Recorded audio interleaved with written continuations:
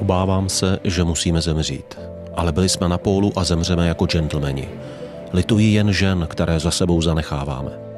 29. března 1912 zemřel Robert Falcon Scott poté, co kolem přelomu roku zjistil, že souboj a prvenství na Jižním pólu prohrál s Norem Amundsenem.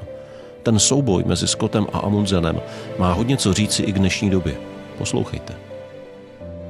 Tohle je videopost, který mám vymyšlený už někdy od Vánoc a furt jsem se nebyl schopný dostat k tomu, abych ho natočil. Tak jsem si řekl, že dneska v rámci běhání, kdo ví, jestli tady za pár dnů ještě bude sníh, bych s tím minimálně začal. Takhle tady je nádherně, podívejte se, jak to tady je krásný.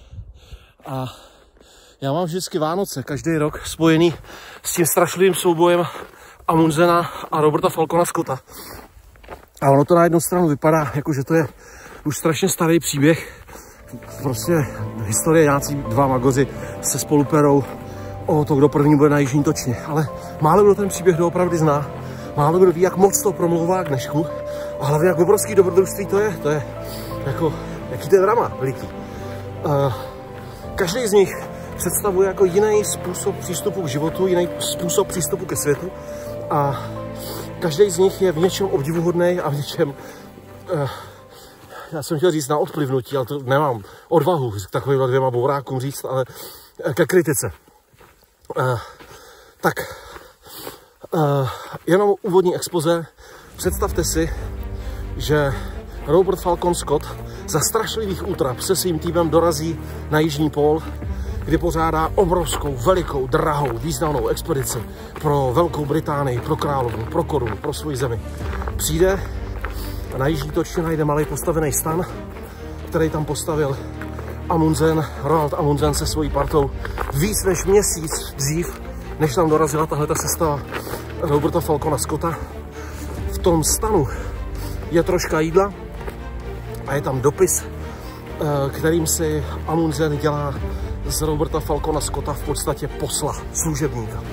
Důležitá věc v těchto podmínkách, v tom mrazu, tom, jakou vzdálenost ještě mají před sebou, zřít si se trochu jídla, nechat tam jídlo, je výraz obrovského pohrdání. To je obrovský ponížení, který se tam Robertu Falconovi Scottovi dostane tím, že najde ten stan, přečte ten dopis a uvidí to jídlo. Jedna věc je porazit ho, druhá věc je strašlivě se mu vysmát. Uh, britskou expedici to zlomí, jsou psychicky v pytli, vrací se zpátky a za strašlivých útrap o dva měsíce později umírají necelých 20 km od svého zásobovacího stanoviště, kde by se byli schopni dát dohromady a kde by pravděpodobně přežili. A teď, co je v pozadí tady téhleté hrůzy, tady tohohle strašného příběhu? Uh, ještě musím říct jednu věc, že tady to obrovské vítězství, který získal Roald Amundsen a který je obdivuhodný, který, ať byl Amundsen jakýkoliv, je prostě úžasný, tak tohleto vítězství vlastně Amundsenovi žádný velký štěstí nepřineslo. A v tom jeho prokletém životě to jenom začalo další kapitolu velkého zklamání a velkého smutku, který přesto své obrovský, gigantický ego, který on měl, stejně musel pořád snášet. Takže, jak to bylo? Já zase budu kousek utíkat a pak vám to dořeknu.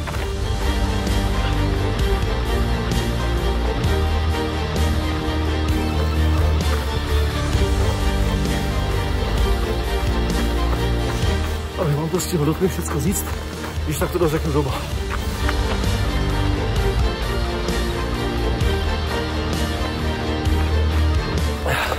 Na pátém kilometru další ucajdaná pauza, abych vyprávěl příběh dál.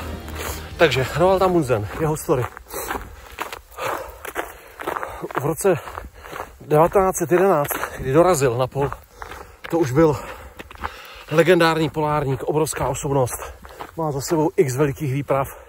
Mimo jiné, jako první proplul se svojí lodí Gioa severozápadní pasáž, což je oblast kolem Arktidy, vysoko na severu.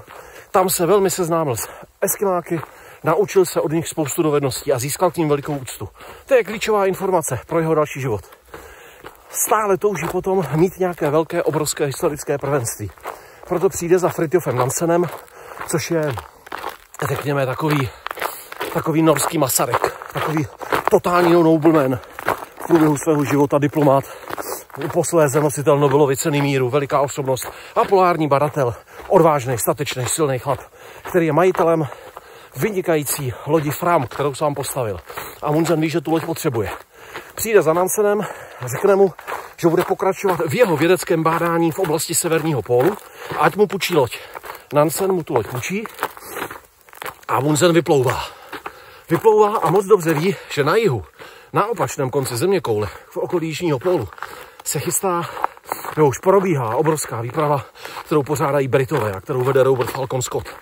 Takže aniž by komukoli cokoliv řekl, otáčí směr své lodi, čímž zradí Fritjofa Nansena a zneužije jeho loď, aby se vydal na jich, aby zahájil ty obrovské závody, jejichž cílem je být první na jižním pólu. Takže to otočí dolů a hned jak to jde, vyráží. Docela i bezohledně vůči ostatním členům své posádky jsou zaznamenané historky, kdy sám utekl z bouře a nepostaral se o své muže. Zkrátka každý se musel postarat sám o sebe. Naprosto tvrdý zákon džungle. No a on teda pak se svýma chlapama vyráží, má naprosto perfektně zmáknutou logistiku, má dokonale zmáknutý jídlo, je od eskimáků naprosto dokonale připraven. Takže opravdu postupuje velmi efektivně, velmi dobře, ví si rady v těch nesmírně obtížných podmínkách a skutečně dorazí jako první na jižní pól. Takže získá pro norskou korunu historicky jednou provždy prvenství na jižním pólu. Tam nechává stan, tam nechává vzkaz Robertu Falconu Scottovi, otáčí se a vyráží zpátky, aby jako obrovský vítěz přišel konečně sklidit ty obrovské ovace, ten obdiv, aby konečně to, to jeho obrovský ego bylo ukojené a získalo ocenění, získalo prostě tu, tu, tu aureolu, kterou on chce získat. Ale netuší, že to bude mnohem zamotanější, protože před námi je příběh Roberta Falcona Scotta, který běží paralelně s tímhle.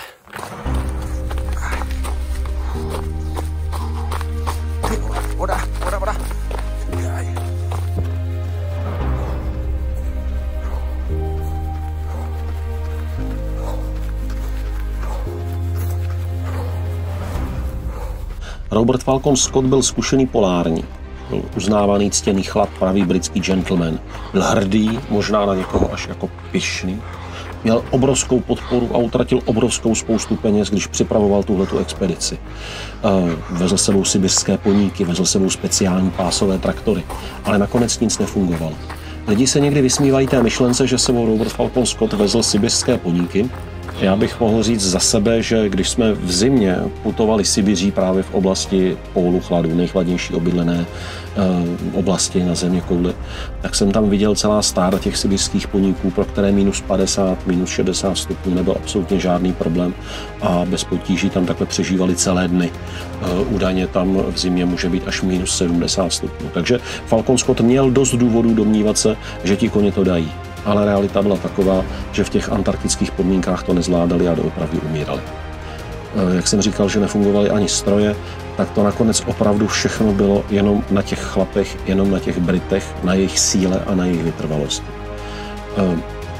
Jistým způsobem by se dalo říci, že ta britská expedice vlastně pohrdala okolním světem. Eskimáci pro ně byli odporní, divoši, nikoho nezajímali, eh, hnusilo se jim to, že pojídají serové maso, připadalo jim odporné, jakým způsobem používají třeba vlastní moč, která svým složením a svou teplotou samozřejmě v polárních podmínkách může být v mnoha situacích velmi cená. Eh, v tomhle tom, až bych řekl jako sebestředném britském pohledu, byli pravým opakem proti Amundsenovi, který zase vůči Eskimákům byl, až bych řekl, pokorný a velmi pozorně se učil jejich znalosti, jejich dovednosti, jejich schopnosti právě v těch polárních podmínkách přežít. Naproti tomu Britové i Amundsena považovali za naprosto nedůstojného chlapa, který se neštítí i něčeho tak hnusného, jako je pojídání psů, dokonce z vlastního spřežení. Jejich pohled byl prostě takový britský. Je nám jedno, co si myslí okolní svět, my si to uděláme po svém, protože my to bez tak víme nejlíp. A jak víme, tak z té britské výpravy postupně všichni umřeli.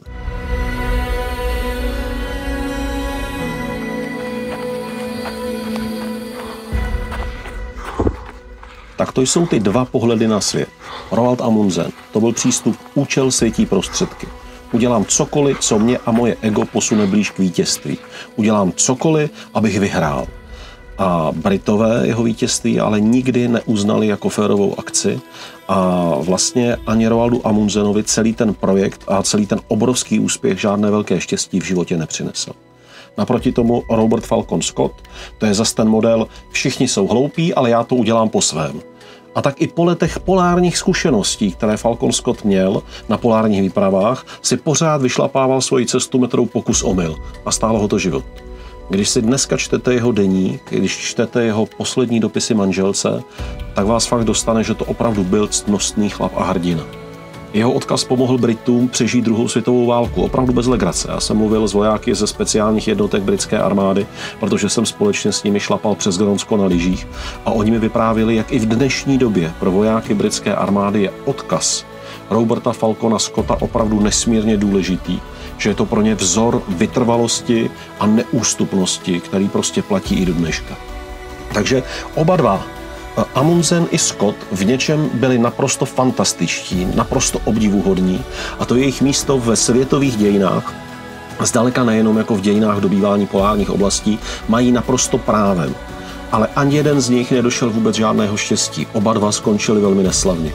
A přijde mi, že je dobré si to připomenout i dnes, a že tenhle ten odkaz, který se týká těchto dvou extrémních přístupů ke světu a extrémních přístupů ke kariéře, k naplňování úspěchů, eh, je možná důležitější než to, jak se zapsali do dějin vytváření té první platné mapy světa.